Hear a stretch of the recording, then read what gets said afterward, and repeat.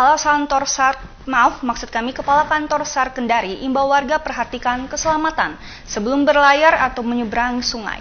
Hal ini setelah dua warga Kecamatan Bondowala, Kabupaten Konawe, telah tewas tenggelam saat menyeberang sungai Konweha. Kecelakaan penyeberangan sungai terjadi di Desa Ronga Konga, Kecamatan Bondowala, Kabupaten Konawe. Dua warga meninggal dunia setelah perahu yang mereka tumpangi terbalik. Peristiwa ini merupakan kesekian kalinya terjadi di Sungai Konaweha.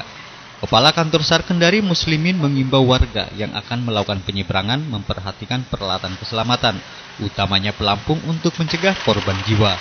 Setiap bencana alam maupun peristiwa membutuhkan bantuan diminta segera melapor ke kantor SAR Kendari melalui layanan telepon 115. Perahu yang uh, sifatnya perahu nelayan yang lembut saya mengharapkan kepada warga untuk uh, berhati-hati terutama itu dalam uh, berlayar ataupun uh, menyeberang uh, ke antara sungai atau antar ke pulau dengan menggunakan uh, life jacket. Petugas SAR Kendari setiap hari siaga 24 jam menerima laporan warga untuk memberikan bantuan penyelamatan. Dari Kendari, Februno Tameng memberitakan.